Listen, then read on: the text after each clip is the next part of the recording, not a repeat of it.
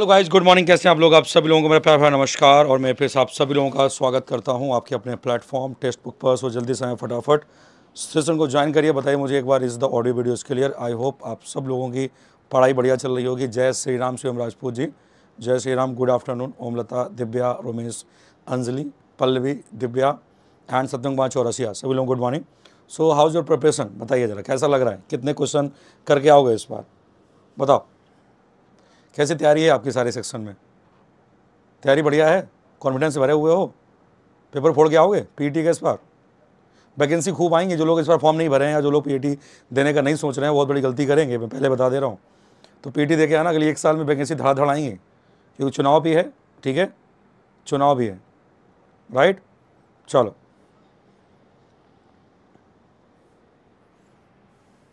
वो कहावत है ना कि वो हमको देख कर भी अनदेखा करते हैं। मिलते हैं तो बात नहीं करते हैं, दबाव है क्या? और सरहदों पर गर्मी बढ़ गई है। ज़रा पता करो, चुनाव है क्या? तो चुनाव है बेटा, याद रखना ये चीज़। ठीक, आगे बढ़ते हैं। इंग्लिश में प्रॉब्लम में कोई दिक्कत नहीं है, पाँच क्वेश्चन है। पाँच में से बहुत, अगर किसी को बिल्कुल इंग्लिश नहीं आती, तब भी दो क्वेश्चन करके आएगा।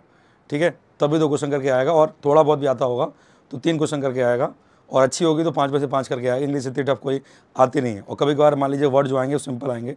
बेसिक अगर पता होगा तो हो जाएगा। ठीक है? आगे बढ़ते हैं और याद रखेंगे, चुपचाप पढ़ते रहो, आगे बढ़ते रहो। जो भी कोई बोलता हो, बुआ, फूफा, मौसा, मौसी, चाचा, चाची, पड़ोसी पड़ोसी की मम्मी हाँ आंटी, जो भी पूछते हो, बेटा, क्या हुआ, एग्ज़ाम में क्या हुआ कोई जवाब नहीं देने का, कुछ नहीं सोचेगा, कोई पूछे क्या कर रहे हो। कुछ नहीं, आंटी, बस घूम रहा हूँ टाइम पास कर रहा हूँ। देखा जाएगा आगे, कोई दिक्कत नहीं है। बस ये बोलना ही मत क्यों तैयारी कर रहे हो या पढ़ रहे हो। नहीं, बिल्कुल नहीं बोलना है। कौन सा फॉर्म भर रहे हो, ये बताना ही नहीं है। कौन सा एग्ज़ाम दे रहे हो, बताना ही नहीं है। चुपचाप जब रिज़ल्ट आ जाए तो अपने आप सबको दिख जाएगा कि कहाँ तुमने ये तैयारी करी थी। उससे पहले किसी को कोई भी ढिंडोरा नहीं पीटना है, मैं इसकी तैयारी कर रहा हूँ, मैं इसकी तैयारी कर रही हूँ, मैं यहाँ पे तैयारी कर रही हूँ, मैंने इतने किताबें पढ़ रही हूँ। कोई भी प्रमोशन करने की ज़रूरत है ही नहीं बिल्कुल, किसी एग्ज़ाम के लिए। जितना प्रमोशन करोगे उतना ही प्रेशर बनेगा और जितना प्रेशर बनेगा उतना ही दिक्कत होगी इसलिए कुछ नहीं बोल रहे हैं। कोई मुझे क्या कर रहे हो? कुछ नहीं बस घर पर टाइम पास करते रहते हैं मूवी भी देखते रहते हैं। बिंदास। ठीक है आगे बढ़ते हैं। ये आपका टेलीग्राम ग्रुप है at the rate Amit sir test book के नाम से और कल परसों दो दिन में लाइव आने की सोच रहा था बट नहीं आ पाया। कुछ बच्चे मतलब मेला था बाकी चीज़ थी बहुत शोर हो रहा था जहाँ पे मेरा घर था वहाँ पे। बहुत ज़्यादा शोर था इतना शोर था कि मैं बता नहीं सकता आप लोगों को। वो रावण रावण वो, वो चल रहा था रामायण बिल्कुल घर के बगल में ही। तो इस वजह से नहीं आ पाया। और अभी आज मैं साढ़े छः बजे आऊँगा शाम को सिक्स थर्टी पर आऊँगा। रात का सीन ही ख़त्म कर दे रहा हूँ, पता नहीं शोर होगा क्या होगा। फिर आगे बढ़ते हैं और आते आते हैं कि which archaeological site of the Indus valley civilization also known as a Parshuram का खेरा कौन से साइट को हम परशुराम का खेरा की बात करेंगे, इसको कहा जाता है, ज़रा बताएँ। तो परशुराम का खेरा करके एक साइट है, इसको किस नाम किसको जानते हैं? आलमगीरपुर, लोथल, हड़प्पा और मोहन कौन साइट को परशुराम खेरा कहते हैं हम लोग? बढ़िया सवाल है। अच्छा सवाल है बेहतरीन सवाल है बताना आप लोगों को। तो जो भी इंपॉर्टेंट साइट्स हैं इंडस वैली सिविलाइजेशन की तो इंडस वैली सिविलाइजेशन से या वैदिक सभ्यता से एक सवाल आएगा। इंडस और वैदिक को मिला लें अगर हम तो इंडस वैदिक और लेटर वैदिक इन तीनों टॉपिक से एक, एक सवाल आना है। तो अच्छे से साइड कर लीजिएगा आलमगीर को आलमगीरपुर को कहते हैं परशुराम का खेरा कहते हैं याद रखेंगे। और लोथल जो है आपका ये किस लिए फ़ेमस है? जहाँ पर पोर्ट पाया गया है बंदरगाह पाया गया इसलिए फ़ेमस हो जाएगी। हड़प्पा तो आपकी पहली साइट खोजी गई, इसलिए हड़प्पा हो जाएगी। मोहनजोदड़ो जो साइट है, वो आपकी सबसे बड़ी साइट मानी जाती है। मोहनजोदड़ो ये भी नोट करेंगे, ठीक है? तो आगे बढ़ते हैं इसी के साथ। फिर सी यू की या the records of the western world किसके द्वारा लिखा गया था? एक the record of the western world जिसका नाम है शी यू की ओ शी यू की सी यू की जो है किसके द्वारा लिखा गया था? सिंपल सा क्वेश्चन है, ठीक है? बेसिक फैक्ट है आपका इतिहास का। चलो सी यू की पुस्तक। मार्को पोलो ने लिखी है, फाया ने लिखी है हंसांग ने लिखी है, अब्दुल रज्जाक ने लिखी है, किसने लिखी है? तो ये हो जाएँगे यहाँ पर कौन? हंसांग जो कि हर्षवर्धन के दरबार में आए थे। किसके दरबार में थे? हर्षवर्धन के दरबार में आए थे ये। हर्षवर्धन जिसने कन्नौज पर शासन किया, कन्नौज को अपनी राजधानी बनाया, ठीक है? ये थे या सी की बात करेंगे, ठीक है? और सी का मतलब हो जाएगा सी यू की पश्चिमी देशों का रिकॉर्ड, यानी कि the record of the western world, ये किताब हो जाएगा, ठीक है? अगला पॉइंट अगला है कि होनसांग किसके शासनकाल में भारत आया? देखिए, वही सवाल फिर से आपका आ गया कि होनसांग जो है किसके शासनकाल में भारत आए? अब आपको सवाल जब आप पढ़ रहे हो ना तो सवाल पढ़ते टाइम पर आप लोगों को ये नहीं लगना चाहिए कि यार ये सवाल कहाँ से आ गया? अगर इतनी फीलिंग आपके अंदर में है तो मान के चलिए कि जीएस आपकी अच्छी है, और अगर आपको ये फीलिंग आ जाती है कि यार ये सवाल कहाँ से पूछ दिया गया है, कैसा आया है तो फिर दिक्कत हो जाएगी राइट संतगुप्त, चंद्रगुप्त, मौर्य, हर्षवर्धन या फिर स्कंदगुप्त। तो यहाँ से लिखेंगे, हर्षवर्धन के दरबार में आया था कौन? होनसांग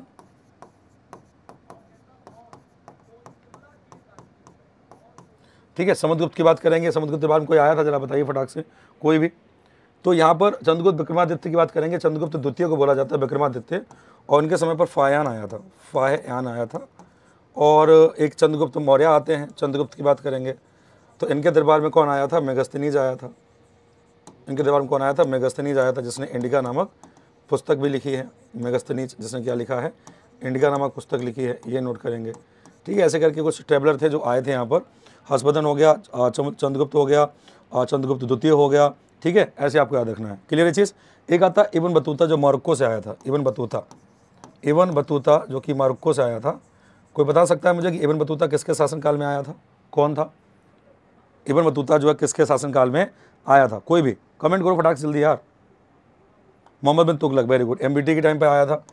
एमबीटी एक ट्रेवलर आया था, बिंदुसार के दरबार में आया था, अमित घाट, जिसको कहा जाता है, बिंदुसार चंद्रगुप्त के बेटे। कोई बता सकता है कि इसका नाम क्या था? बिंदुसार के दरबार में आने वाले ट्रेवलर का क्या नाम था? बिंदुसार के दरबार में जो ट्रेवलर आया था, उसका नाम क्या हो जाएगा? तो उसको कहते हैं डायमेकस वेरी गुड डायमेकस कहते हैं डायमेकस तो डायमेकस कहते हैं कहीं के पर डिमेकस लिखा होता है, कोई दिक्कत नहीं है। तो ये कहते हैं बिंदुसार, जो कि चंद्रगुप्त के बेटे हुआ करते थे, आगे बढ़ेंगे। अगला क्वेश्चन, अकबर द्वारा इलाही संबत, एक इलाही कैलेंडर हो जाएगा, किसमें शुरू किया गया था? 1580 ईस्वी में 1586 1582 एंड पंद्रह कब शुरू किया गया था? इलाही संबत, जिसको हम इलाही कैलेंडर के नाम से जानते हैं, और ये अकबर द्वारा शुरू किया गया था, कब किया गया था? बढ़िया सवाल है ये। चलो भाई, बताएँ। अकबर अकबर अकबर। 1605 में इनकी मृत्यु हो गई थी 1605 में ये मतलब इनकी डेथ हुई थी 1605 में 1605 में। ठीक है? इसके अलावा पंद्रह छप्पन की बात करेंगे 1556 में, जो पानीपत का द्वितीय युद्ध हुआ था, पंद्रह में, पानीपत का जो सेकेंड बैटल था, उसमें फिर उसके बाद ये राजा बने थे, ठीक है? और 1605 तक इन्होंने रूल किया, ठीक है? आगरा आगरा, लाहौर, फतेहपुर, ये सब इनकी क्या रही हैं? इनकी राजधानी रही हैं।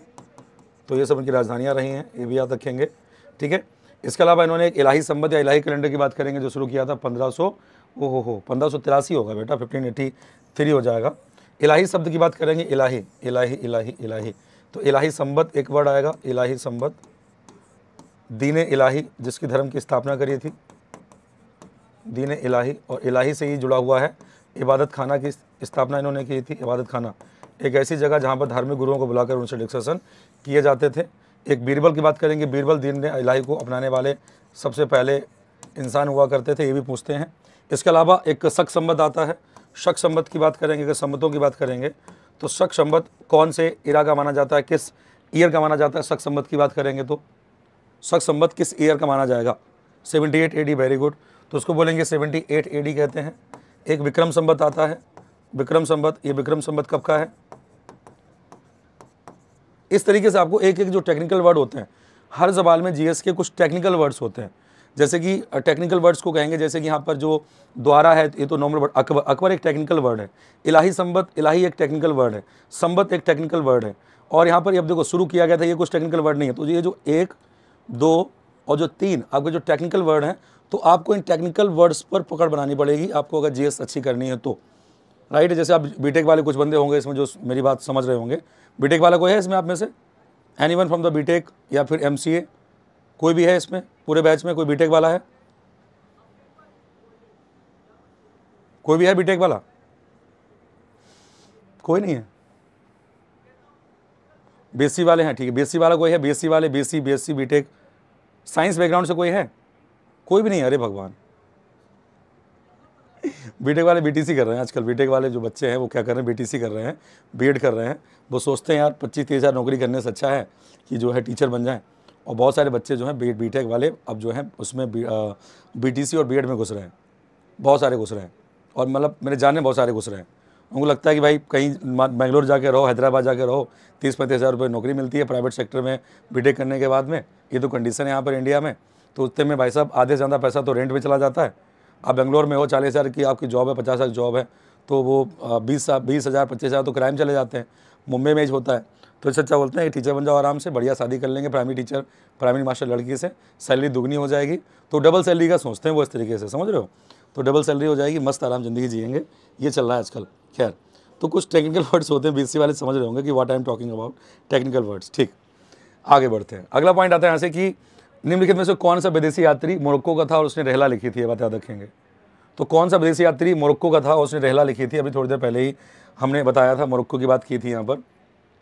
तो फायान, इबन बतूता, अलबरूनी या फिर निकोलो कॉन्टी ये बताना आप लोगों को, ठीक है? चलो भाई। फायान फायान फायान फायान या फिर कौन था? तो ये एक्चुअली में था इबन बतूता।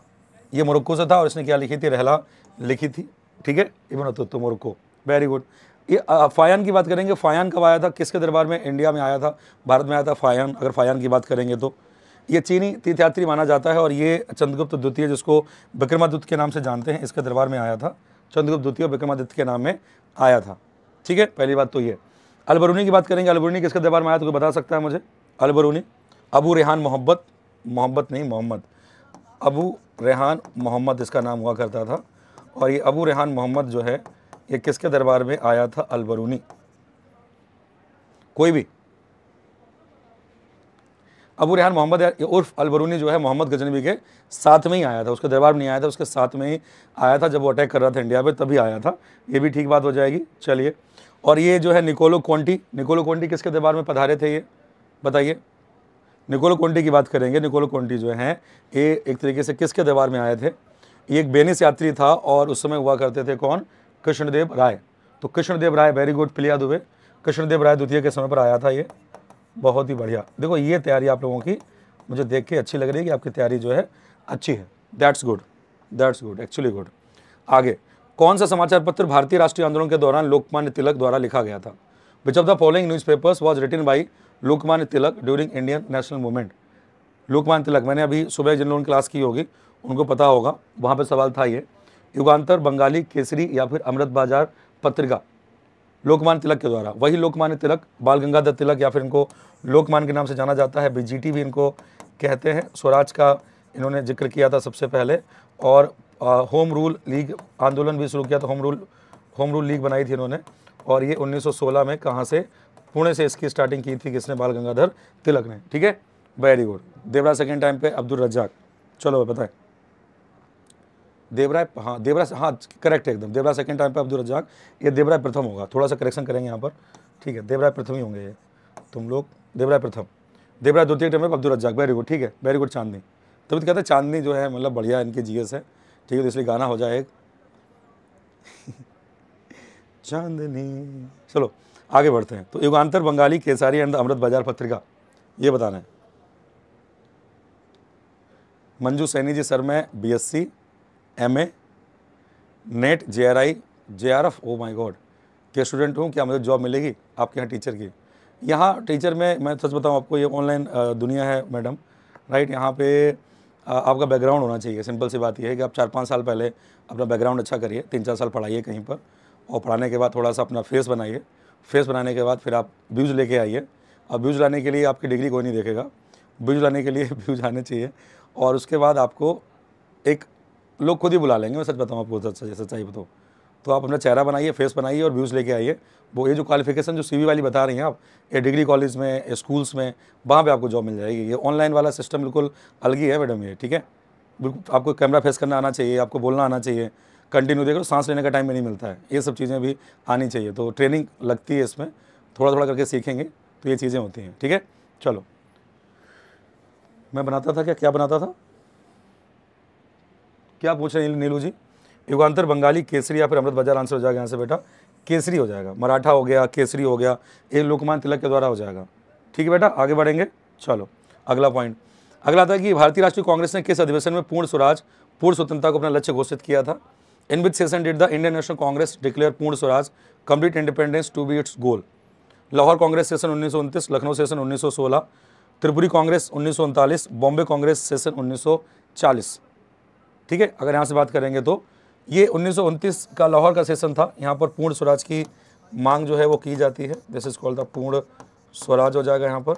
लखनऊ सेशन में क्या हुआ था? मुस्लिम लीग और कांग्रेस का मिलन हुआ था। दो बिछड़े भाई जो है बिछड़ गए थे जो आपस में, वो मिले थे। त्रिपुरी कांग्रेस की बात करेंगे। यहाँ पर सुभाष चंद्र बोस जी ने कांग्रेस को छोड़ा था और उसके छोड़ने के बाद फॉरवर्ड ब्लॉक की स्थापना करी थी। क्या सवाल था आपका नीलू जी? क्लियर करके पूछा करो, जो भी पूछा करो। ठीक? आगे बढ़ते हैं। नेक्स्ट आता है कि किसने कांग्रेस को सूक्ष्म अल्पसंख्यक के रूप में निरूपित किया? कांग्रेस इसकी स्थापना अठारह में ए ओ ह्यूम के द्वारा की गई थी। तो किसने इसको बोला कि भाई ये जो है आपका सूक्ष्म अल्पसंख्यक के रूप में बोला था? Syed Ahmed Khan, Lord Dufferin, Lord Curzon या थियोडर बेक? इनमें से क्या हो जाएँगे? चलो, नहीं नहीं, पूछ लीजिए, कोई दिक्कत नहीं है। आप पूछिए, आपका जवाब मिलेगा। ऐसा कोई सवाल नहीं जिसका जवाब मेरे पास है नहीं। आप पूछ के तो देखिए। हाँ वो अलग बात है, किसी को जवाब अच्छे लगते हैं, किसी को नहीं लगते हैं। दैट्स डिफरेंट थिंग अभी देखा नहीं मैंने प्रिया दुबे जी, आज देखूँगा। चलो।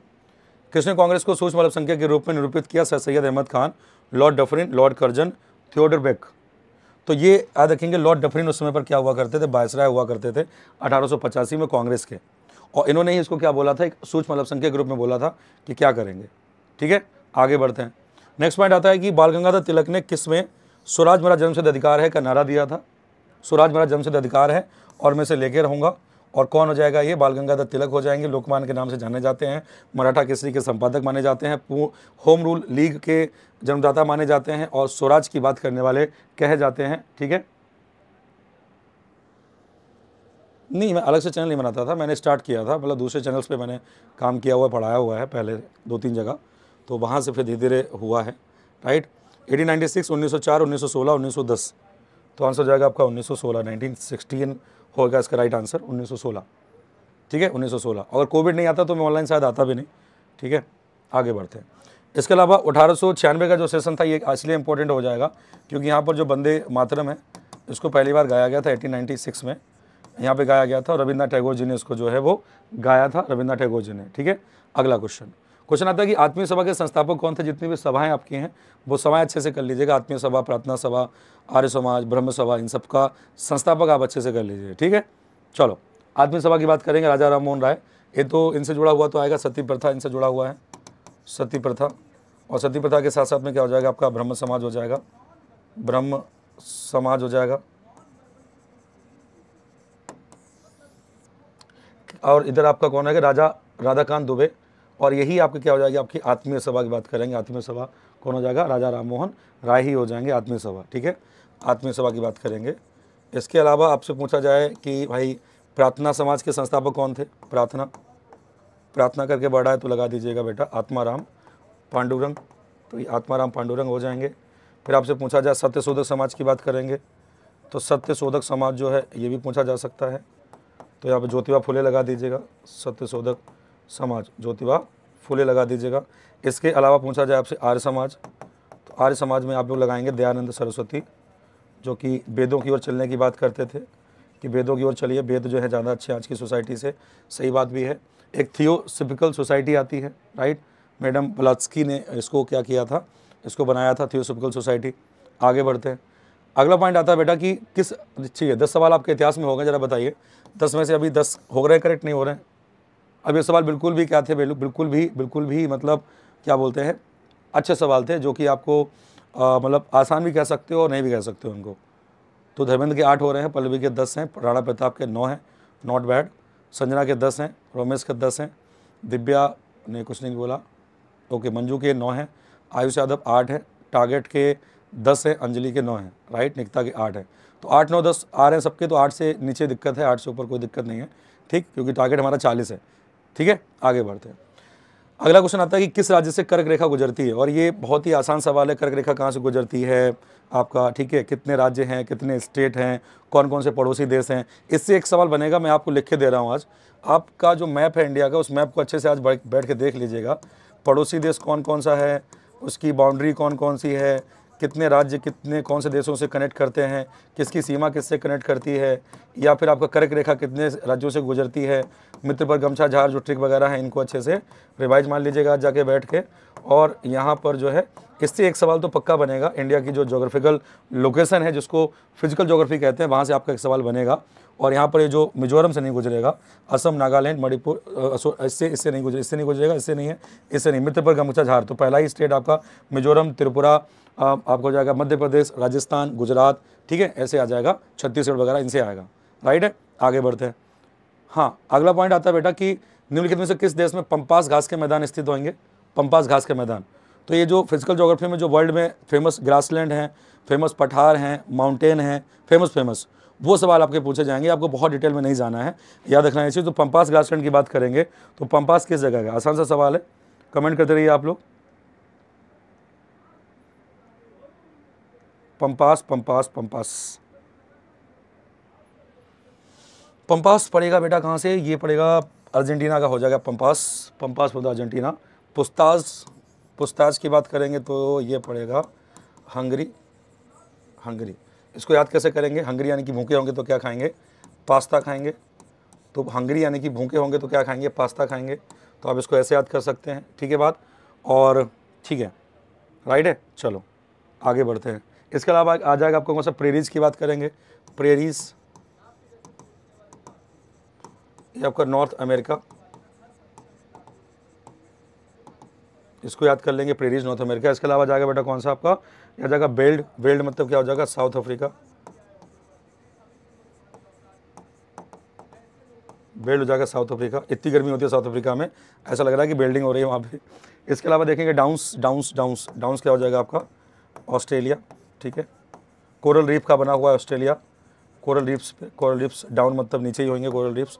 डाउन ऑस्ट्रेलिया, ऐसे याद कर सकते हैं इसके अलावा। आपका कैंटेबरी की बात करेंगे, सेंटेबरी जो है न्यूजीलैंड में हो जाएगा। सेंटेबरी जो है आपका ये न्यूजीलैंड में पाए जाते हैं घास के मैदान, न्यूजीलैंड। इनमें पाए जाएँगे घास के मैदान, ऐसे करके आपको क्या करने हैं, याद कर लेने हैं। ठीक है बेटा, आगे बढ़ते हैं। और एक आता आपका स्टेपी भी आप पूछा जाता है, स्टेपी कहाँ से बिलोंग करेगा? स्टेपी की बात करेंगे तो स्टेपी किस जगह से? From which country the steppe grassland located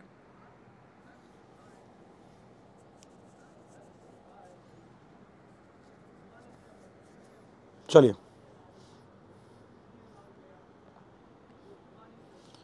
steppes हाँ यूरेशिया कह सकते हैं, रसिया भी कह सकते हैं उसको रसिया यूरेशिया कह सकते हैं इसको, ठीक है। ठीक है, स्टेपी बेटा बात, बेटा रसिया के हैं। वेरी गुड टारगेट तो Russia Russia Indians love Russia ठीक है, आगे बढ़ते हैं, अगला पॉइंट अलग अलगनंदा भागीरथी मिलती है कहाँ पर? अलग अलगनंदा भागीरथी किस जगह पे मिलेंगे? तो एक ही जगह जिसको बोलेंगे क्या? चार, जैसे पाँच प्रयाग होते हैं, पाँच प्रयाग हैं, पाँच प्रयागों में एक प्रयाग हो जाएगा जिसमें कि अलगनंदा भागीरथी मिलकर गंगा का निर्माण करते हैं और गंगा को जो बनाएँगे उसको क्या बोलेंगे, देव प्रयाग के नाम से जाना जाता है, ठीक है? अगला पॉइंट टेहरी बाँध किन नदियों के संगम पर स्थित है। टेहरी डैम जो कि सबसे ऊँचा डैम माना जाता है, सबसे ऊँचा डैम, सबसे हाईएस्ट डैम है, सबसे ऊँचा डैम है। तो सबसे ऊँचा डैम यानी कि सबसे हाईएस्ट डैम है आपका ये हाईएस्ट डैम आपका जो टेरी डैम है ये आपको किन नदियों के संगम पर स्थित हो जाएगा? Bhagirathi and the Bhil Ganga Bhagirathi and the Alaknanda Alaknanda and the and and the Baan Ganga और बानस एंड द खारी। क्या हो जाएगा इसका राइट आंसर और ये हो जाएगा आपका कौन सा? Bhagirathi and the Bhil Ganga Bhagirathi and the Bhil Ganga ठीक है बात? आगे बढ़ते हैं। उष्ण गठबंधी घास के मैदान सवाना और वेल्ड। सामान्य कहाँ पाए जाते हैं? थोड़ी देर पहले हमने वेल्ड की बात करी। तो ये सवाना और जो वेल्ड के घास मैदान हो जाएँगे, जो कि उष्ण कटबंदी यानी कि ट्रॉपिकल रीजन में पाए जाते हैं, ये किस जगह पे होंगे? उत्तरी अमेरिका, यूरोप, दक्षिण अमेरिका या फिर अफ्रीका। बताएँ जरा, वेल्ड मैंने बताया था आपको, साउथ अफ्रीका होगा। और साउथ अफ्रीका होगा तो यहाँ पर साउथ अफ्रीका यानी कि अफ्रीका एक ही है यहाँ पर तो अफ्रीका हो जाएगा यहाँ से, ठीक है? सी कहाँ से हो जाएगा यार? अनुपमा पांडे, तान्या और टीना यादव, ओमलता, अनुपमा पांडे, सी कैसे हो जाएगा? थोड़ी देर पहले मैंने बताया था मतलब क्या मतलब ये मैं कन्नड़ में लिख रहा हूँ क्या? कहाँ गया ये? ये देखो, लिखा तो था साफ़ साफ़ South Africa, veld South Africa. तो ये साउथ अफ्रीका लिखा है तो जल्दबाजी में साउथ अमेरिका को, साउथ अफ्रीका क्यों पढ़ रहे हो? अफ्रीका यहाँ पे है तो ये अफ्रीका हो जाएगा यहाँ से। ठीक? आगे बढ़ेंगे। आपका भी नाम ले लें, रॉयल पंडित जी 99 अभी 99 क्या है बताइए, ऐसा नाम रखते हो, नाम थोड़ी ना है। ये रोबोट का कोड है। नाम रखने वाला रखो, लेने वाला रखो तो लिया जाए। हाँ? अब ऐसे नाम रखोगे, रॉयल पंडित जी 99 मतलब नाम लेने में एक क्वेश्चन हो जाए। चलो आगे बढ़ते हैं। अगला सवाल। अब बताइए ज्योग्राफी के पाँच सवाल हो गए। पाँच में से कितने करेक्ट हो गए, जरा बताएँ। चलो भाई। पंडित जी भी हैं और रॉयल भी हैं। और 99 हैं, आप देख रहे हो ये चीज़। हाँ तो गौरव शर्मा कितना अच्छा नाम रखा, माँ बाप ने पूजा पाठ किया होगा, पंडित जी बुलाए होंगे, खाना वाना खिलाया होगा, पंद्रह बीस लोगों को। तो वो नाम रखो ना, इतना अच्छा नाम है गौरव शर्मा। कितना प्यारा नाम है।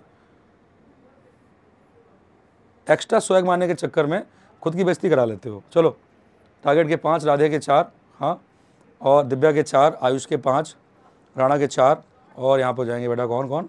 चार पाँच चार पाँच, आ रहे हैं, अच्छी बात है दैट्स गुड इतना ही चाहिए। टारगेट के पाँच हैं, राणा प्रताप के चार हैं, संजना के चार हैं, ठीक। क्वेश्चन आता है यहाँ से, सकल प्राथमिक घाटा की बात करेंगे ग्रॉस प्राइमरी डेफिसिट की बात करते हैं तो ग्रॉस प्राइमरी डेफिसिट जो होगा, वो किसके किसके बीच का डिफरेंस होगा? तो अभी आपको डेफिसिट तो मैं बता चुका हूँ, अभी आपको डेफिसिट बता चुका हूँ मैं आप लोगों को, कि डेफिसिट घाटा होता है रेवेन्यू कम हो और एक्सपेंडिचर ज़्यादा हो मतलब राजस्व कम हो और खर्चा ज़्यादा हो तो उसको घाटा कहते हैं। ग्रॉस का मतलब क्या हो जाएगा? ग्रॉस ग्रॉस की बात करेंगे तो यहाँ पर बेटा याद रखेंगे कि जो gross fiscal deficit and net interest liabilities की बात करेंगे, इसको बोलेंगे ग्रॉस प्राइमरी डेफिसिट। यानी कि हमारा फ़िज़िकल डेफिसिट हो, टोटल मिला जुला कुल फ़िज़िकल डेफिसिट और उसके अलावा नेट इंटरेस्ट लाइबिलिटीज़ के हमारे पर कितनी इंटरेस्ट लाइबिलिटी है जो हम इंटरेस्ट दे रहे हैं। तो उनको सबको मिला देंगे तो क्या बन जाएगा? ग्रॉस बन जाएगा। ठीक है बात? आगे बढ़ेंगे। चलिए, अगला सवाल। क्वेश्चन कहता है कि उत्पाद शुल्क निम्नलिखित से किस पर लगाया जाता है? एक्साइज ड्यूटी की बात की जा रही है।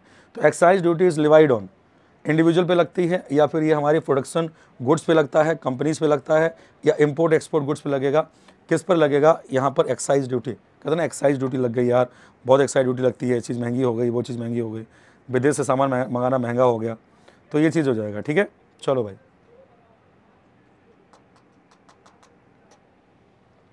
तो आंसर होगा इसका बेटा प्रोडक्शन गुड्स पे लगता है, उत्पादन के सामान पे लगता है, कंपनीज़ पे नहीं लगेगा इंपोर्ट एक्सपोर्ट गुड्स पे नहीं लगता है, इस पर कस्टम ड्यूटी लगती है, जो लोग डी आंसर लगा रहे हैं, और यहाँ पे हो जाएगा इंडिविजुअल पे लगता नहीं इंडिविजुअल पे इनकम टैक्स लगता है, और यहाँ पे प्रोडक्शन गुड्स पे लगेगा कौन सा? उत्पाद शुल्क, यानी कि एक्साइज ड्यूटी वेरी गुड बहुत बढ़िया। अगला क्वेश्चन मंदी को परिभाषित कीजिए, मंदी क्या हो जाती है? मंदी, ठीक है? मंदी रिसेशन क्या होता है? रिसेशन होता है कि जब जॉब जाने लगे प्रोडक्शन कम हो जाए, लोगों की जॉब छूटने लगे और महँगाई बढ़ने लगे। तो this is the term known as recession इसको रिसेशन कहेंगे, मंदी कहेंगे उसको मंदी का दौर आ गया। तो मंदी क्या होती है कि यहाँ पर जो इकोनॉमिक एक्टिविटी होती हैं, वो कम हो जाती हैं डिक्लाइन हो जाती हैं। कंपनियों के पास काम नहीं होता है तो वो कंपनियाँ अपने लोगों को निकालना शुरू कर देती हैं, जिसकी वजह से जॉब भी चली जाती हैं और जॉब जाने के साथ साथ में महँगाई भी बढ़ जाती है। फिर उसमें क्या होता है, दिक्कतें आ जाती हैं। तो दिस इज़ नोन एज मंदी लोगों पास अपनी ईएमआई देने के पैसे नहीं होते हैं। जॉब चली जाती है। बैंकों को उनका जो प्रॉफिट मिलना चाहिए, वो भी नहीं मिलता है। अकाउंट्स एनपीए होने लग जाते हैं। नॉन परफॉर्मिंग एसेट की संख्या बढ़ जाती है। बैंकों पर कर्जा बढ़ जाता है। वसूली बढ़ने लग जाती है। और इन चीज़ों को बोला जाता है कि रिसेशन बोलते हैं, जिसमें इकोनॉमिक साइकिल क्या हो जाती है स्लो हो जाती है। और जब बहुत स्लो होकर नेगेटिव में चली जाती है तब उसको बोलेंगे। क्या जब कांस्टेंट रहे तब? तो कांस्टेंट रहे तो मंदी थोड़ी बोलेंगे, उसको क्या बोलेंगे? इकोनॉमिक क्राइसिस हो ही नहीं रही कांस्टेंट है। तो क्राइसिस अलग चीज़ हो गई ना क्राइसिस होगी जब नेगेटिव में जाएँगे। काजल, एक ऐसा सवाल पूछा तुमने, काजल? निम्नांकित में से कौन सा मुद्रा का कार्य नहीं है? मुद्रा यानी कि मनी का कार्य कौन सा नहीं है? पैसा। बाबू भैया, पैसा का कार्य क्या नहीं है? पैसा क्या नहीं कर सकता? पैसा एक एक्सचेंज का मीडियम होता है, बिल्कुल ठीक बात है। मूल्य का संग्रहण, कीमतों का स्थिरीकरण यूनिट ऑफ़ मेज़रमेंट पैसे का कार्य क्या नहीं है? बताएँ बाबू भैया। पैसा ही पैसा हो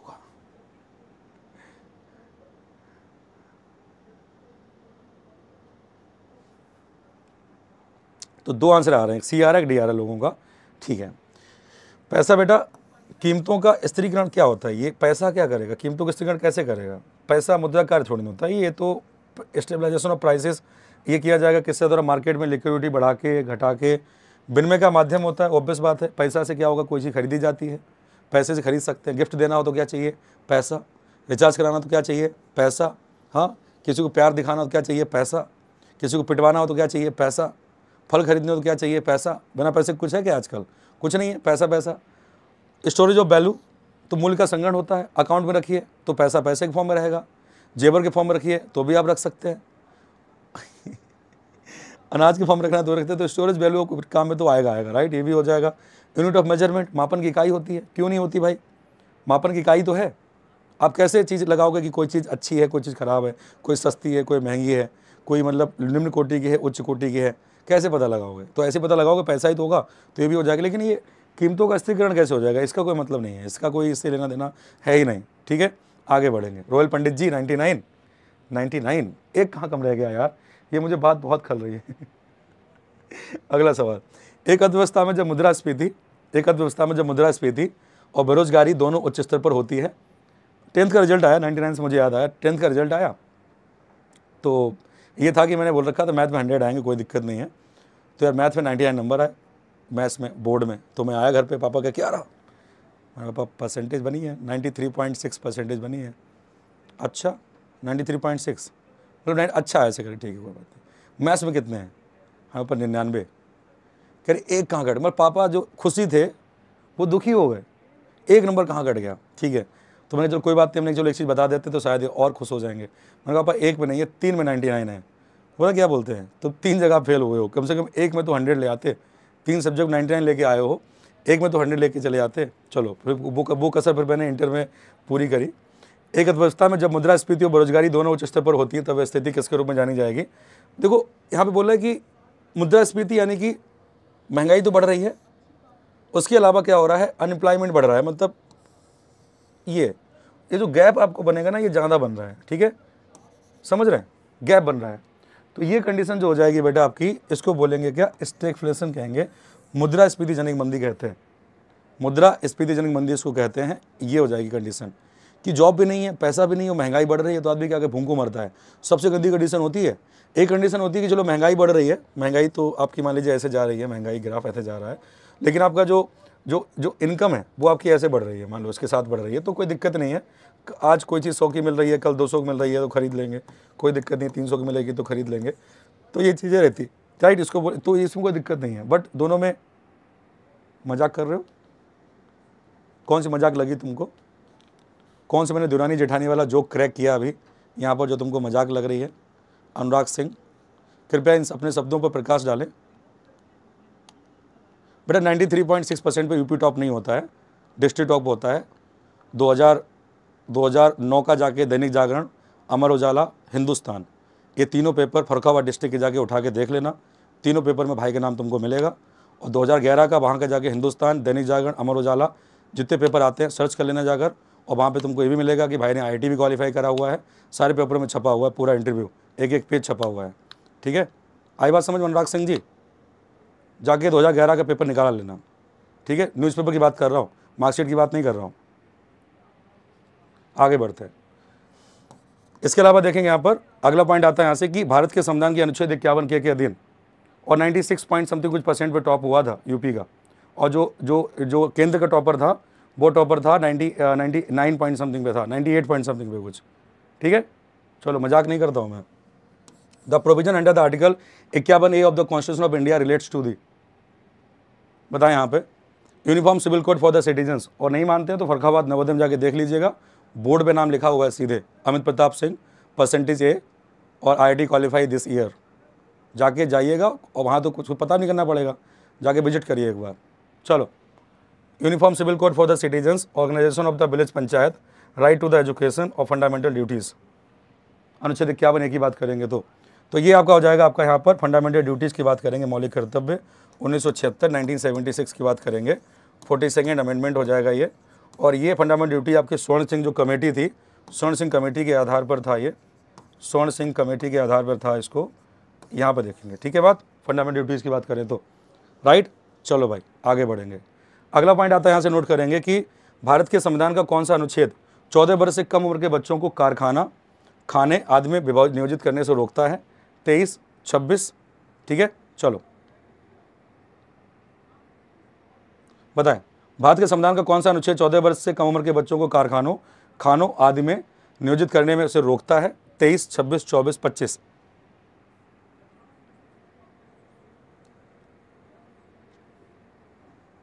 चलिए बताएँ।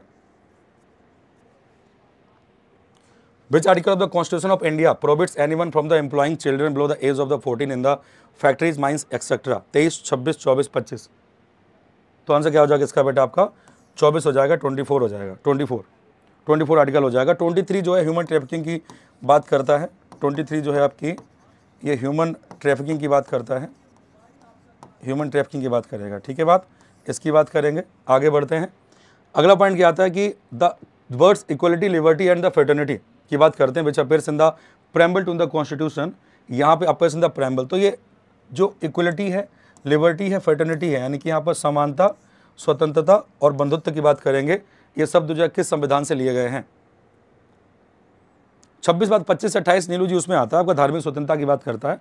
ट्वेंटी फाइव से ट्वेंटी एट धार्मिक स्वतंत्रता की बात करता है, उनतीस से तीस माइनॉरिटी राइट्स की बात करता है, बत्तीस आपका जो है वो रिट्स की बात करता है और आपका चौदह से अठारह जो है समानता की बात करेगा, उन्नीस से बाईस फ्रीडम की बात करता है नीलू गुप्ता जी। ठीक? तो यहाँ से देखेंगे जो फ्रेंच क्रांति हुई थी फ्रेंच रिवोल्यूशन हुआ था, उसका जो आधार था वो यही था equality liberty and the fraternity और फ्रांस से ही लिए गए हैं, ठीक है? अगला पॉइंट भारत के संविधान का कौन सा अनुच्छेद न्यायिक समीक्षा को शक्ति देता है? न्यायिक समीक्षा यानी कि जुडिशियल रिव्यू किया जाता है बाय द मतलब establish procedure by the law इसके द्वारा किया जाता है। तो ये एक्चुअली में किस आर्टिकल में है? आर्टिकल तेरह, चौदह, उन्नीस या इक्कीस? तो भारत के संविधान का कौन सा अनुच्छेद न्यायिक समीक्षा की जो शक्ति देता है, वो जाएगा आपका आर्टिकल तेरह की बात करेंगे। इक्कीस कहाँ से हो जाएगा? ये राइट टू लाइफ इक्कीस वाले में कहाँ से आ गया? ये न्यायिक समीक्षा, ये बताइए मुझे। इक्कीस वाले में कहाँ से आ जाएगा ये? संजना और क्या नाम है आपका? टारगेट और और आयुष यादव और श्वेता सिंह। ए में इक्कीस में कहाँ से? इक्कीस में right to life right to life है विद डिग्निटी इसके अलावा आपका शिक्षा का अधिकार इक्कीस ए में है। आर्टिकल तेरह बात करता है ये। ठीक है बेटा? आगे बढ़ते हैं। चौदह से अठारह आपका समानता में चला जाएगा। उन्नीस वाला राइट टू फ्रीडम की बात करता है। छः तरीके की स्वतंत्रताएँ इसमें दे रखी हैं। ठीक? अगला क्वेश्चन अगला आता है कि संविधान सभा की पहली बैठक कब हुई थी? 1945, 1946 या फिर उन्नीस सौ सैंतालीस? गलती से निकल गया होगा नाम। माफ़ कर दीजिए संजना जी। ठीक है? तो उन्नीस सौ संविधान सभा की पहली बैठक कब हुई थी ये बताना है। फ़र्स्ट बैटर की बात करेंगे तो 1945, 1946, 1947, 1948, 1940 में हुई थी। और डे बता दीजिए डे कौन सा था? डे और मंथ भी बता दीजिए एक बार। डे और मंथ कौन से थे? पहली बैठक की बात करेंगे तो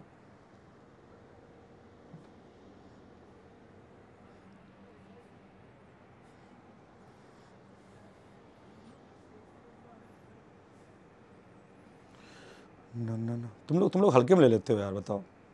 अब यूपी टी से पीटी पढ़ा रहे हैं, तुमको लगता तुम बहुत हल्के में ले लेते हो तुम लोग।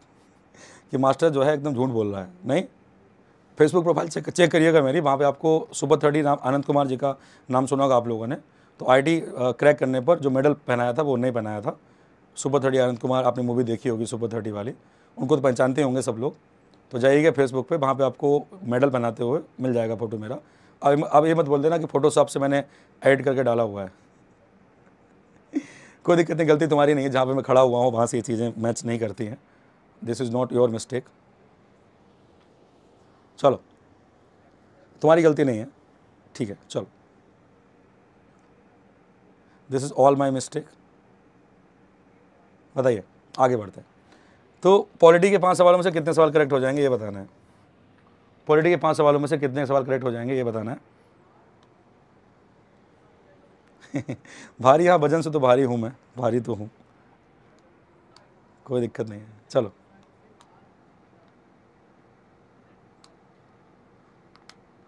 चार, सही हो रहे हैं, चार, संजना चार, दिव्या पाँच पाँच पाँच, चार चार, ठीक है।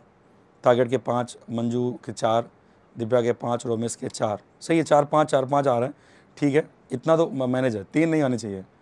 चालीस सवाल से कम कोई करके आएगा नहीं, ठीक है। चालीस सवाल से करके कोई जो है, आएगा नहीं, ये बात याद रखना। करना है, चालीस प्लस करके आना है। और इस बार नाइन्टी नाइन परसेंटाइल रखनी है। सवाल गलत नहीं करना। सौ में से सौ नहीं करने, सवाल एक बात याद रखना। पेपर देने जाना तो आप याद रखना कि जो सौ सवाल आपको करने हैं टोटल इसमें आपको बीस, पंद्रह से बीस छोड़ने भी हैं। बस ये दिमाग में रखना कि पंद्रह से बीस जो हैं, छोड़ने हैं। हमारा फोकस क्या होता है? जब हम सवाल करने जाते हैं तो हम लोग को लगता है सौ पूरे कर लेंगे। एक गलत हुआ तो थोड़ी टेंशन होती है। दो गलत हुआ तो और टेंशन होती है और जहाँ पाँच गलत हुए, दिमाग टेंशन में चला जाता है और उसके बदले पाँच सही वाले भी गलत करके हम चले आते हैं। बस यहीं पर आपको प्रेशर मैनेज करना है और आपको ये सोचना है हमेशा कि पंद्रह से बीस सवाल आपको गलत करके आने हैं या फिर छोड़ के आने हैं। क्यों छोड़ के आने हैं? क्योंकि अगर आप 80 नंबर लेके आ जाते हो 80 नंबर के आसपास आप लेके आते हो तो 99.7 99.8 परसेंट एल आपकी बनेगी 80 क्वेश्चंस में, राइट? अगर हाँ इसको आप, इसको भी कर लेते हो तो अच्छी बात है, चीता हो। राइट अगर आपको लगता है कि दो तीन सवाल गलत हो गए या तीन चार सवाल गलत हो गए तो आप ये मान के चलना कि आपके पास जो स्कोप है, वो पंद्रह क्वेश्चन का है। अभी आप पंद्रह क्वेश्चन गलत कर सकते हो, कोई दिक्कत नहीं है। और गलत नहीं मतलब छोड़ सकते हो। गलत तो मत ही करना, जो ना आ रहा हो नेगेटिव लेके जाएगा। ये पंद्रह छोड़ सकते हो दैट्स इट ठीक है? पंद्रह का आप पास स्कोप है। चलो। डीआई के छोड़ डीआई सबसे आसान तो डीआई होती है। आज साढ़े छः बजे आइए आप लोग, थोड़ा डीआई के बारे में थोड़ा बता देते हैं आप लोगों को। चलो सिक्स थर्टी पर आइए मैंने बात की थी यहाँ पर चलाने के लिए क्लास लगाने के लिए बट यहाँ पे लगी नहीं, क्योंकि जीएस पढ़ाता हूँ मैं यहाँ पर तो वो फिर अलाउ हुआ नहीं बट कोई नहीं टेलीग्राम पे आप लोग आइए। आज मैं आप लोगों को कुछ डीआई के कुछ एक घंटे का सेशन ले लेता हूँ, साढ़े छः बजे, पर टेलीग्राम पर ले लूँगा मैं। और जो कुछ चीज़ें बताऊँगा तो जो डीआई में एक्चुअली क्या होता है कि आपके पाँच पाँच जो सवाल होते हैं, जो डीआई का एक तरीका होता है। अब देखो मैं बताऊँ आप लोगों को, जो पाँच सवाल आपके रहेंगे डीआई पर, पाँच आते हैं कहीं कहीं पे चार पूछे जाते हैं। इन पाँच सवालों में पर्टिकुलर कोई मान लीजिए आप टेबल है, कोई भी मान लीजिए आपका बार ग्राफ है, कोई मान लीजिए आपका कोई मान लीजिए लाइन ग्राफ है, कोई मान लीजिए पाई चार्ट है मान लीजिए तो इसमें पाँच सवालों का टाइप होता है। पहला सवाल जो होता है वो इंट्रोडक्टरी होता है। ये आपको कोई नहीं बताया होगा आज तक, जिन जो भी डीआई पढ़ा रहे होंगे आपको पी में किसी नहीं बताया होगा, जो मैं बताने जा रहा हूँ अभी आपको। एक आपका इंट्रोडक्टरी क्वेश्चन होता है। सेकेंड जो क्वेश्चन होता है वो आपका फैक्चुअल क्वेश्चन होता है। फैक्चुअल क्वेश्चन होता है। थर्ड जो क्वेश्चन होता है वो अप्लाइड क्वेश्चन होता है। अप्लाइड क्वेश्चन होता है। फोर्थ जो क्वेश्चन होता है, वो कैलकुलेटिव क्वेश्चन होता है। कैलकुलेटिव। इस तरीके से क्या करते हैं डीआई के क्वेश्चन पूछे जाते हैं। अब यहाँ पर ऐसा नहीं हो सकता है कि डीआई के पाँच में से पाँचों क्वेश्चन आप ना कर पाओ। मतलब इंट्रोडक्टरी मतलब इंट्रोडक्टरी मतलब क्या बोलेंगे इसको? हिंदी में इंट्रोडक्टरी क्या बोलेंगे? मतलब देख के करने वाले सवाल। देख के करने वाले फैक्चुअल मतलब क्या हो जाता है? फैक्ट मतलब जो फैक्ट होते हैं ना मतलब जो फैक्ट होंगे, उसमें दिए गए होंगे। फैक्ट मतलब फैक्ट ही बोलेंगे उसको। फैक्ट क्या? तथ्य। तथ्यों पर आधारित होगा, तथ्यों पर आधारित होगा। अप्लाइड मतलब क्या होगा कि किसी भी, जैसे कि डीआई में क्या क्या अप्लाइड होता है? जैसे कि आपको पता है प्रॉफिट लॉस इसके अलावा एवरेज प्रॉफिट लॉस एवरेज इसके अलावा क्या हो जाएगा? सम मल्टीप्लिकेशन ठीक, ये आपके यूज़ होते हैं। तो ये अप्लाइड फॉर्मुलों पे एक क्वेश्चन होगा और एक होता है कैलकुलेटिव कैलकुलेटिव मतलब क्या होगा कि बहुत बड़े बड़े सम्स होंगे, उनको जोड़ना होगा। इस तरीके से रहता है। ये बनते हैं चार तरीके के सवाल। अब कितनी भी आपकी मैथ वीक हो, इतनी वीक तो नहीं होगी कि दो सवाल आप ना कर पाओ, ये वाला और ये वाला। मैं मानता हूँ कि हाँ रेशियो मेथड भी इसमें यूज़ करते ई आर पी भी लिख लो आप। ई आर पी बी ठीक है? कैट में वर्ड यूज़ करते हैं वाला। तो यहाँ पर रेशियो मेथड से वो रेशियो मेथड से तो आप सब निकाल सकते हो रेशियो मेथड तो एक एप्लीकेशन है तो ये हो जाएगा। तो ये दो सवाल तो आप कर सकते हो। बेसिक बेसिक अगर आपको बिल्कुल भी मैथ आपकी वीक है ना तो DI के दो सवाल आप कर सकते हो, ये मेरी गारंटी है। तो आज मैं आपको साढ़े छः बजे टेलीग्राम पर मिलूँगा, बताऊँगा कि कैसे आप, अगर आपकी मैथ वीक है तो हाउ आप दो सवाल कर सकते हो। तीन डी आई आएँगी आपकी। पाँच पाँच पाँच की तीन डी आई हैं। तो अगर आप बिल्कुल छोड़ने के मोड में हैं तो आप यहाँ पे लगा सकते हो। दो से तीन सवाल आपके निकल आएँगे। ठीक है? क्लियर है चीज़ चलो, आगे बढ़ते हैं। नेक्स्ट पॉइंट की तरफ़। मैंने डीआई पढ़ाई हुई है। दो साल के आसपास मैंने, डेढ़ साल के आसपास डेटा इंटरप्रिटेशन पढ़ाया हुआ है कैट में। ठीक है? तो कैट जानते होंगे आप लोग आई एम एम के लिए एग्ज़ाम होता है। तो लखनऊ में था मैं पहले। कोविड से पहले की बात बता रहा हूँ। तो मैंने अराउंड अराउंड डेढ़ साल के आसपास मैंने कैट वालों को पढ़ाया है। और डी आई एल आर ही पढ़ाया data interpretation and logical reasoning पढ़ाया हुआ है। दस हज़ार के आसपास क्वेश्चन भी पोर्टल पे अपलोड कराए हैं, बनाए हुए हैं। खुद ने भी दिया हुआ है कैट खुद की भी 99 प्लस परसेंटाइल है डीआई में कैट में। और इसका भी स्कोर कार्ड मैं दिखा सकता हूँ। कैट में 99.3 परसेंटाइल है डेटा इंटरप्रिटेशन में। ठीक है? आगे बढ़ते हैं। अगला क्वेश्चन अगला आता है कि अच्छा ये देख लेते हैं कौन सा आपका किरण परावर्तक सतह पर अपतित होती है और यदि परावर्तित किरण की 90 डिग्री के कोण पर होती है तो अगर इस तरीके से आप देखोगे, और अगर ये इस तरीके से 90 डिग्री अगर कोण बन रहा है तो ये बाइसेट करती है लाइन, इसको क्या करेगी? बाइसेट करती है दुई विभाजित करती है दुई विभाजित करती है इसको, और यहाँ पर देखेंगे 45 डिग्री हो जाएगा ये ये 45 डिग्री हो जाएगा 90 बाई टू को बात करेंगे तो ठीक है? आगे बढ़ते हैं। अगला पॉइंट आता है बेटा, नोट करेंगे कि किसको इसकी अपेक्षाकृत कम ऊष्मा सामग्री के कारण कोयले की निम्न श्रेणी के भूरे कोयले के रूप में भी जाना जाता है? ठीक है? आप कुछ अपना स्टार्ट कीजिए। Which is also known as the brown coal और the lower rank of the coal due to its relatively low heat content इसकी अपेक्षाकृत कम ऊष्मा सामग्री के कारण कोयले की निम्न श्रेणी के भूरे कोयले के रूप में भी जाना जाता है।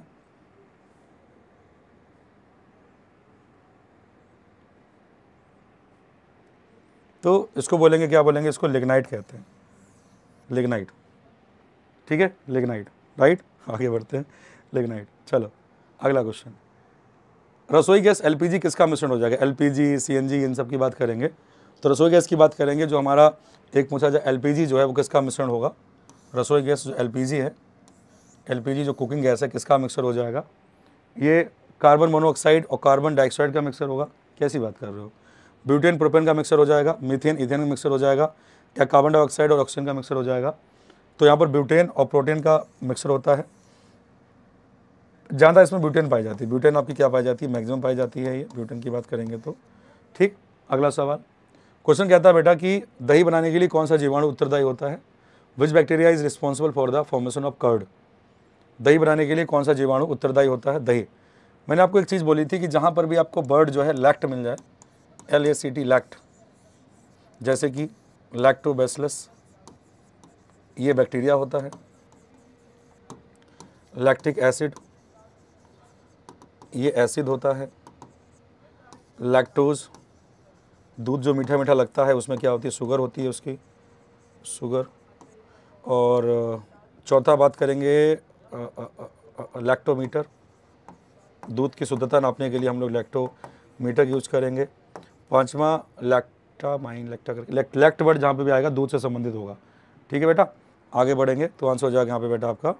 लैक्टोबैसिलस या फिर उसको बोलेंगे एसिडोफिलस कहते हैं। ठीक? अगला पॉइंट अगला पॉइंट आता है यहाँ से बेटा कि which of the following instruments is use for the measuring very high temperature कौन सा उपकरण उच्च तापमान को मापने के लिए उपयोग किया जाता है? फोटोमीटर पायरिजियोमीटर सोलर मीटर या फिर पायरोमीटर तो इनमें से कौन सा उपकरण उच्च तापमान को मापने के लिए उपयोग किया जाता है? फोटोमीटर पायरोजोमीटर सोलर मीटर या पायरोमीटर? तो मीटर आपके होते हैं, उन मीटर से एक सवाल बन सकता है आपका। अगर मीटरों की बात करें तो राइट मीटर की बात करें तो और मीटर जो है आपको याद होने चाहिए। तो इधर हो जाएगा कौन सा बेटा आपका? पायरोमीटर बोल जाएगा, जिसको हम लोग उच्च तापमान को मापने के लिए जो उपयोग जो है इसको किया जाता है, इसको बोलेंगे पायरोमीटर। उसको क्या कहेंगे? पायरोमीटर कहते हैं। ठीक है? सारे मीटर आपको याद है? रिवाइज कर लिया आप लोगों ने? जितने मीटर हैं, सारे रिवाइज कर लिया आप लोगों ने। नहीं किया तो मैं एक पीडीएफ पीपीटी डाल दूँगा। उसको क्या करना आप लोग रिवाइज कर लेना यहाँ पर। जो मीटर है सारे के सारे।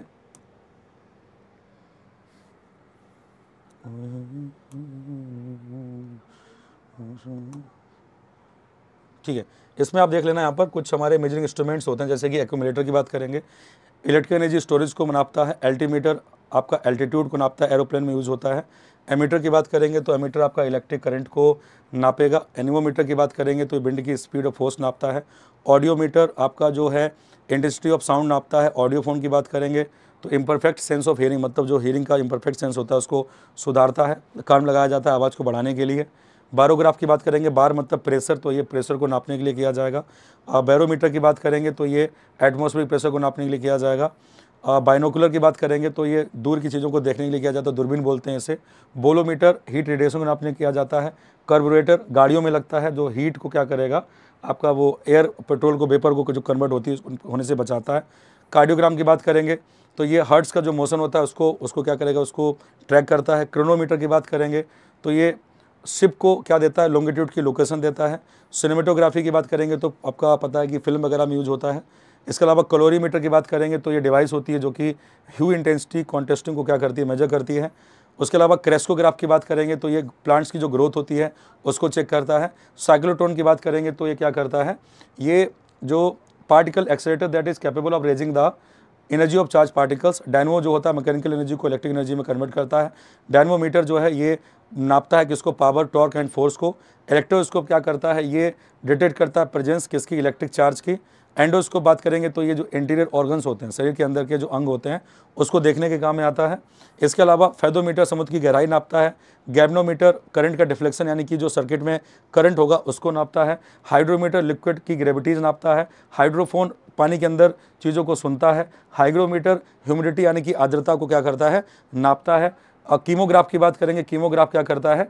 ये फिजियोलॉजिकल मूवमेंट्स होते हैं ब्लड प्रेशर हार्टबीट इसको नापेगा लैक्टोमीटर मैंने बताया थोड़ी देर पहले प्योरिटी ऑफ़ मिल्क नापता है। माइक्रोफोन की बात करेंगे तो ये साउंड एनर्जी को इलेक्ट्रिकल एनर्जी में कन्वर्ट करता है। माइक्रोस्कोप की बात करेंगे छोटी छोटी चीज़ों को देखने के काम में आता है। ओडोमीटर की बात करेंगे, गाड़ियों में यूज़ होता है डिस्टेंस जो टेबल की जाती है, उसको देखता है। पेरिस्कोप की बात करेंगे तो ये जो है सी लेवल के ऊपर ऑब्जेक्ट को देखने में यूज़ किया जाता है सबमरीन के द्वारा। फोनोग्राफ की बात करेंगे तो साउंड को प्रोड्यूस करने के लिए किया जाता है। फोटोमीटर की बात करेंगे तो ये लुमिनस इंटेंसिटी को कंपेयर करता है सोर्स ऑफ़ लाइट को। पायरोमीटर की बात करेंगे तो ये हाई टेम्परेचर को नापते का जिसका सवाल अभी था, वो पायरोमीटर था। इसके साथ में रडार की बात करेंगे तो ये radio angle detection and range ये इसकी फुल फॉर्म होती है और एरोप्लेन वगैरह जो अप्रोच करती हैं बॉडीज उनको नापता है। इसके अलावा रेडियोमीटर की बात करेंगे तो ये रेडियंट एनर्जी को नापेगा रेन गॉज यानी कि वर्षा को नापता है, किस क्षेत्र में कितनी वर्षा हुई है। रेक्टिफायर जो है वो आपका एसी टू डीसी में कन्वर्ट करता है। सीजमोग्राफ सीजमिक एक्टिविटी को मेजर करेगा एंड स्पाइगो मैनोमीटर जो करेगा वो ब्लड प्रेशर को क्या करता है? मेजर करता है। स्टेथोस्कोप जो है वो डॉक्टर के द्वारा यूज़ किया जाता है, जो आवाज़ लगा के सुनते हैं ऐसे करके, उसको स्टेथोस्कोप कहते हैं। टेकोमीटर की बात करेंगे तो एरोप्लेन की जो स्पीड है और मोटर की स्पीड टेकोमीटर से नापी जाती है, थर्मोमीटर से टेम्परेचर नापेंगे बिस्कोमीटर से बिस्कोसिटी नापेंगे और वोल्ट मीटर से क्या नापेंगे, वोल्टेज नापेंगे।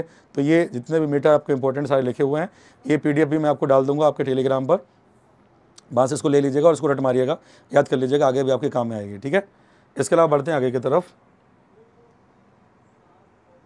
ठीक कौन है ये? लब डब कैर क्लासेस। बेटा, क्यों? ठीक है, सुन लो तुम, लबडब सुनो। चलो। केरल ने अपना पचहत्तरवा संतोष ट्रॉफी खिताब जीतने के लिए निम्नलिखित में से किस राज्य को हरा दिया है? केरल ने जो जो क्या किया, केरल ने बीट किया है। 75 संतोष ट्रॉफी टाइटल जीता है इन्होंने। और इन्होंने हराया किसको बेटा? वेस्ट बंगाल या पश्चिम बंगाल को हराया है। वेस्ट बंगाल, पश्चिम बंगाल। स्पीड में कर लेते हैं टाइम कम है हमारे पास। आगे देखते हैं इधर। नीरज चोपड़ा ने हाल ही में कितने मीटर के थ्रो के साथ दोहा डायमंड लीग जीती है? तो दोहा डायमंड लीग जो जीती है इन्होंने नीरज चोपड़ा ने, ये 88.6 मीटर के साथ जीती है। नेक्स्ट पॉइंट देखेंगे, यहाँ से आता है कि भारत का पहला क्षेत्रीय एआई न्यूज़ एंकर कौन बन गया है? Who has become India first regional AI news anchor Alex Emma Lisa और the pioneer Alex Emma Lisa और पायोनियर तो भारत का पहला क्षेत्रीय एआई न्यूज़ एंकर की बात करेंगे तो हो जाएगा लीजा हो जाएगा राइट सी इसका राइट आंसर हो जाएगा लीजा नेक्स्ट पॉइंट की बात करते हैं चेन्नई सुपर किंग्स ने आईपीएल 2023 जीतकर आईपीएल के इतिहास में अपना पांचवा खिताब जीता है और इसके अलावा मुंबई इंडियंस भी पाँच खिताब जो है वो जीत चुकी है। फिर आते हैं कि बजट 2023-24 के अनुसार नई कर व्यवस्था के लिए छूट की सीमा क्या है? पहले पाँच लाख हुआ करती थी, पाँच लाख के बाद अभी इस बजट में इसको कर दिया गया कितना? सात लाख कर दिया गया है। तो सात लाख यहाँ पे क्या हो जाएगी? बजट की सीमा हो जाएगी। नेक्स्ट आता है बेटा कि वर्तमान में भारत के विदेश मंत्री कौन हो जाएँगे? सिंपल सा सवाल है। इस तरीके के सवाल आपके एग्ज़ाम आएँगे। पोर्टफोलियो याद कर लीजिएगा। तो दो चीज़, दो आपको पोर्टफोलियो याद करने हैं। पोर्टफोलियो मतलब किसको? पद वगैरह क्या क्या दिए गए हैं? एक तो केंद्र का याद कर लीजिएगा। केंद्र के साथ साथ में राज्य का देख लीजिएगा एक बार। और रिसेंटली जो भी चीफ मिनिस्टर और गवर्नर चेंज हुए हों, वो देख लीजिएगा, ठीक? आगे बढ़ते हैं। तो आपको पता होना चाहिए कि जयशंकर साहब जो हैं, वो विदेश मंत्री हैं, सुब्रमण्यम जयशंकर साहब। अगला क्वेश्चन किसने टॉपेक्स 2023 अभ्यास आयोजित किया है? So which of the following conducted exercise TROPEX 2023 भारतीय नौसेना, भारतीय वायुसेना, भारतीय सेना या भारतीय तट रक्षक? तो टोपेक्स इंडियन नेवी के द्वारा किया गया है टोपेक्स अगला पॉइंट अर्जुन वाजपेयी इनमें से किस पर्वत शिखर पर चढ़ने वाले पहले भारतीय व्यक्ति बन गए हैं? तो पहले इंडियन बने हैं, जो चढ़े हैं किस पर्वत पर?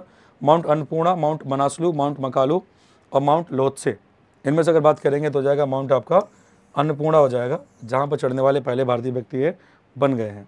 नेक्स्ट आता है कि विश्व के सर्वाधिक आपराधिक देशों मोस्ट क्रिमिनल कंट्रीज़ की 2023 श्रेणी में भारत किस स्थान पर है? So where does the India rank in the world's most criminal countries 2023 ranking 126वें स्थान पर सतहत्तरवें स्थान पर, पचासी स्थान पर या फिर 135वें स्थान पर? तो विश्व के सर्वाधिक अपराधी देशों की बात करेंगे, उसमें जो भारत की जो रैंकिंग है वो 77 नंबर पे आता है, सर्वाधिक क्रिमिनल कंट्रीज़ में राइट आगे बढ़ेंगे। अगला पॉइंट आता है कि निम्नलिखित में से किस शहर ने एरो इंडिया 2023 की मेजबानी की है? एरो इंडिया 2023 मुंबई, बेंगलुरु, चांदीपुर या फिर अम्बाला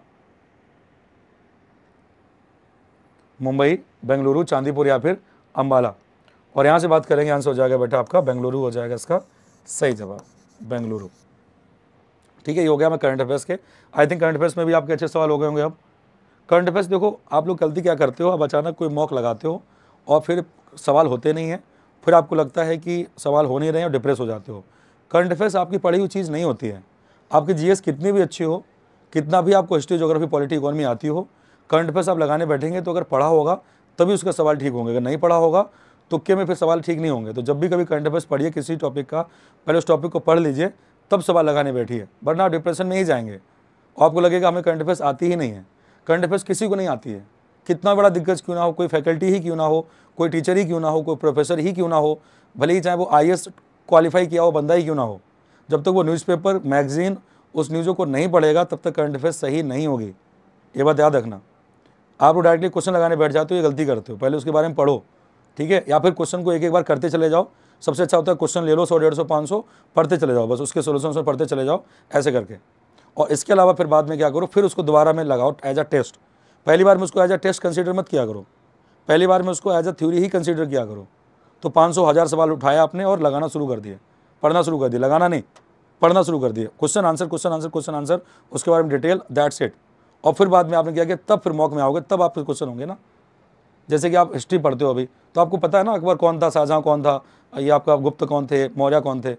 तो थोड़ा बहुत कन्फ्यूज़न होता है, तब आप उसका क्वेश्चन कर पाते हो, तब भी पूरे सही नहीं होते। अब आप कैसे, आप ब्रह्मा थोड़ी ना हो कि आप करंट अफेयर्स पढ़ाई नहीं आपने, बस एकदम ऐसे दिमाग में आप जादू हो कि एकदम से धूप मिलेगी और तुम क्वेश्चन लगा लोगे। नहीं हो सकता ना। तो उसमें हताश होने ज़रूरत ही नहीं है। बच्चा बोलता है सर करंट अफेयर्स वीक है। वीक वीक कुछ नहीं है। आपने पढ़ा नहीं है। दैट्स सेट ठीक? आगे बढ़ते हैं। अरुंधति रॉय ने उन्नीस सौ सत्तानवे में फिक्शन के लिए प्रतिष्ठित मैन बुकर पुरस्कार जीता था। निम्नलिखित में से पुस्तक का नाम क्या है?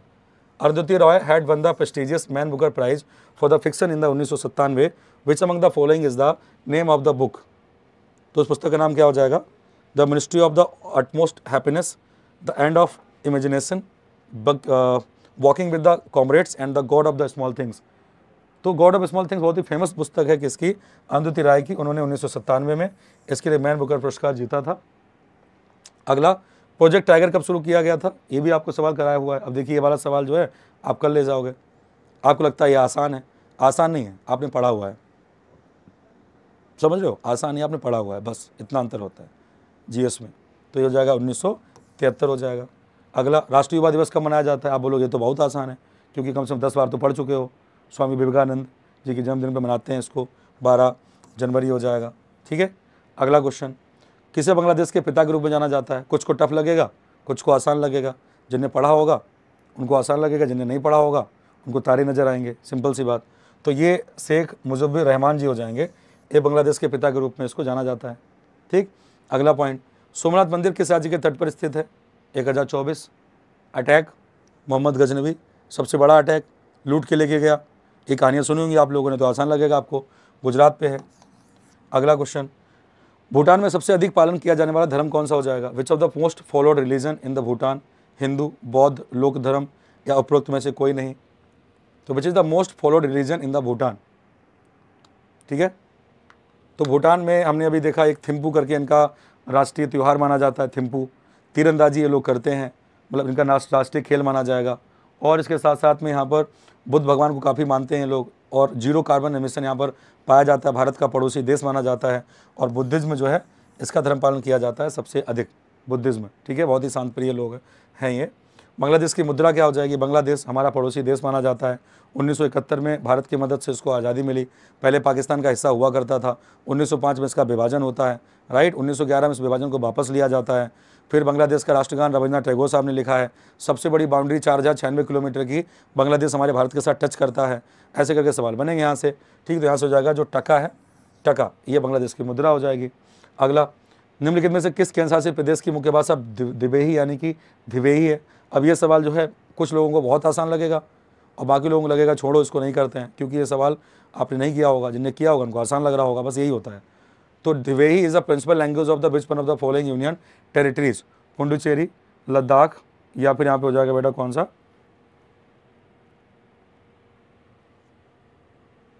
पुडुचेरी, लद्दाख, लक्षद्वीप, जम्मू, कश्मीर। तो आंसर जाएगा यहाँ से बेटा आपका, लक्षद्वीप हो जाएगा। अगला पॉइंट देखते हैं यहाँ से बेटा कि खेल एवं युवा मंत्रालय भारत सरकार द्वारा निम्नलिखित में से कौन सा पुरस्कार खेल कोचिंग में उत्कृष्टता के लिए दिया जाता है। तो which of the following award is given by the ministry of the youth affairs and the sports government of India for excellence in sports coaching Dronacharya पुरस्कार, राजीव गांधी खेल रत्न पुरस्कार, या फिर यहाँ पे हो जाएगा अर्जुन पुरस्कार या सी के नायडू पुरस्कार। तो खेल एवं युवा मंत्रालय जो है, ये भारत सरकार द्वारा निम्नलिखित में से कौन सा पुरस्कार खेल कोचिंग में उत्कृष्टता के लिए दिया जाता है? द्रोणाचार्य अवार्ड, राजीव गांधी खेल रत्न अवार्ड, अर्जुन अवार्ड, या फिर बोलेंगे आपसे सी के नायडू अवार्ड। तो आंसर हो जाएगा यहाँ से बेटा आपका द्रोणाचार्य अवार्ड हो जाएगा। अगला क्वेश्चन देखेंगे। भारत में निम्नलिखित में से किस राज्य में सबसे कम लोकसभा सीटें हैं? Which of the following states has lowest number of the Lok Sabha seats in India Goa, Telangana, Sikkim या फिर Uttarakhand?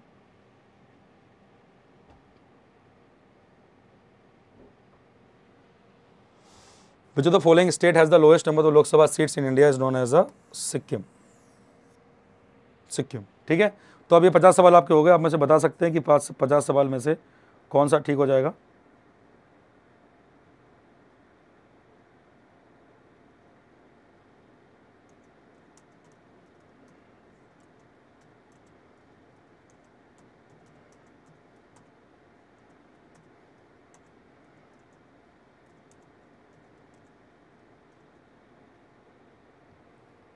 चलिए, पचास में कितने हो गए? ठीक है आपके। दो दिन बचे आज आपकी पच्चीस तारीख हो गई है। कल छब्बीस है, परसों सत्ताईस है। ठीक है? और बढ़िया से आराम से पेपर दे के आना, टेंशन ना लेना। आठ, दस सवाल गलत हो तो कर लेना आराम से। ना गलत हो रहे तो भी करके आना कि नहीं छोड़ेंगे हम। पाँच सवाल छोड़ के आएँगे। ईगो मत लिया करो पेपर। थोड़ी इज़्ज़त किया करो पेपर की। ठीक? और कितने? पचास में बयालीस प्लस ठीक हो रहे हैं, पैंतीस प्लस आयुष बढ़ाओ दोस्त इसको। बढ़ जाएँगे बयालीस वीरेंद्र के वीरेंद्र मास्टर क्लास क्यों नहीं हो रही है? मुझे खुद नहीं पता यार। मुझे भी नहीं पता चल रहा है इसका। कुछ भी होता है, कभी भी होता है। राणा प्रताप यादव अड़तीस टारगेट्स पचास में सैंतालीस ओके वीरेंद्र बयालीस और वीरेंद्र कुमार बयालीस वेरी गुड राणा प्रताप अड़तीस वाओ रोमेश अड़तीस टारगेट सैंतालीस। क्या बात है यार। एक बार टारगेट लिए तालियाँ हो जाएँ, अगर सच बोल रहे हैं तो that's very good score forty seven Virendra Kumar बयालीस, Pooja Kumari Sikkim, Pallavi forty two plus Virendra बेटा एक बार लिखा करो, कितनी बार लिख रहे हो यार? दूसरों को भी मौका दो, लिखे जा रहे पढ़ लिया हमने आपका नाम। दिव्या की फोर्टी थ्री ओमलता की फोर्टी सेवन है very good Ashish Gupta forty plus that's very good और नेहा के बयालीस, ठीक है। निकता बयालीस, ठीक है। ठीक है। नहीं अच्छा अच्छा टारगेट अच्छा है बढ़िया है। ठीक। तो एक काम करो जिसके लोगों के 45 प्लस हैं, वो ज़्यादा फूलेंगे नहीं, ज़्यादा फूलेंगे तो फट जाएँगे। जिसके 40 से 50 है 40 से 45 के बीच में है। वो थोड़ी सी कोशिश करो और रिवाइज करो जो चीज़ें गलत हुई हैं, पाँच सवाल जहाँ पे गलत हुए हैं, जो पैंतीस से चालीस के बीच में है। टेंशन लेने की ज़रूरत नहीं है, आप अच्छे स्कोर पे हैं। पेपर पेपर पे भी डिपेंड करता है कभी कभार गुड स्कोर है, नो डाउट।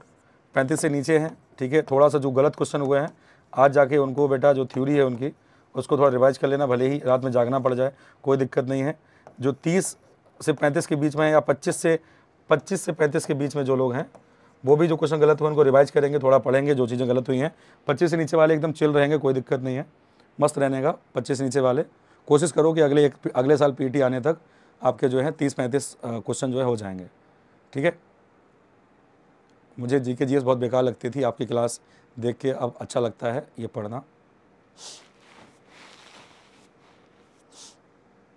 रो लेता हूँ थोड़ा। तो पच्चीस से नीचे वाले जो लोग हैं ट्वेंटी फाइव से नीचे वाले, वो एक काम करेंगे। वो अभी मेहनत करें आराम से टेंशन बिल्कुल मत लें पेपर देने जाएँ। अच्छा हो जाए तो अच्छी बात है, बुरा हो जाए तो भी गोलगप्पे खा के आएँ और अगले एक साल में बहुत मेहनत करें और अगले साल जब पी हो तो इस पच्चीस को कितना, पैंतालीस करके आएँ। ठीक है? बीस पच्चीस इसके आ रहे हैं। मतलब बीस पच्चीस में कुछ नहीं होने वाला, सच बताएँ आपको तो। थोड़ा बुरा लग रहा होगा बट सच्चाई यही है। हाँ थोड़ा बुरा लग रहा होगा, सच्चाई यही है। बीस पच्चीस सवालों में कुछ नहीं होना है। हाँ लेकिन अगर उधर आपका जैसे कि वो सेक्शन बहुत अच्छा है कि पचास question Hindi maths D I वगैरह, इन सब में पचास में पचास लेके आ रहे हो, पचास में पैंतालीस ला रहे हो तो भी पचास, पच्चीस लेके आओगे तो सत्तर नंबर आपके आएँगे। ठीक है? तब भी ठीक है। चलिए। ठीक है? क्लियर है चीज़? Pallavi Srivastava sir B love you ठीक है, हम लोग भी यार प्यारी तो हम लोगों का जो आपस में टिके हुए हैं। थैंक यू यार, इतना प्यार देने के लिए। ठीक है चीज़ मिलते हैं इसी के साथ। तब तक के लिए जय हिंद, जय भारत। और हाँ एक बात याद रखेंगे, अभी साढ़े छः बजे आप लोग आ जाइएगा, इस पर क्या बोलते हैं क्या नाम है टेलीग्राम पर। बाकी यूट्यूब पे आप जाएँगे यहाँ पर। यहाँ पे आप लोगों को टेलीग्राम का लिंक मिल जाएगा। और एक एक बैच हमारा यूपी पुलिस का बैच ऑलरेडी चल रहा है तो अभी ये बैच आपका ख़त्म होगा। दूसरा कोई बैच चलेगा, लेकिन तब तक आप लोग पुलिस वाले क्लास में, आप लोग शाम को जो पाँच बजे क्लास चलती है, इसमें आप आइए यहाँ पर पाँच पी पर। और इसको क्लिक करने के बाद नीचे आइए टेलीग्राम ग्रुप आपको यहाँ पर मिल जाएगा। ये रहा आपका टेलीग्राम ग्रुप ठीक है, इसको क्लिक करेंगे। ये सुपर कोचिंग यूपी का टेलीग्राम ग्रुप है और ये जो है आपका मेरा टेलीग्राम ग्रुप है, यहाँ पे ज्वाइन कर लीजिएगा। ठीक? इसके अलावा आप इधर आओगे तो यहाँ पे मिलेगा आपको बैच का लिंक बट अभी पीटी तो चला गया है। बट पीटी ज्वाइन अगर नहीं कर रहे हैं तो आप यहाँ पर बैच चेंज कर सकते हैं अपना। एग्ज़ाम में जाएँगे और यहाँ पर अपना जो स्टेट गवर्नमेंट एग्ज़ाम में जाके, जो भी आपका स्टेट का एग्ज़ाम है, पुलिस का कॉन्स्टेबल उसको क्लिक कर सकते हैं, उसको ज्वाइन कर सकते हैं। इसी के साथ मिलते हैं आप लोगों से, कल मिलेंगे। तब से के लिए थैंक यू यार good bye tata take care thanks for the coming चलो बाय टाटा।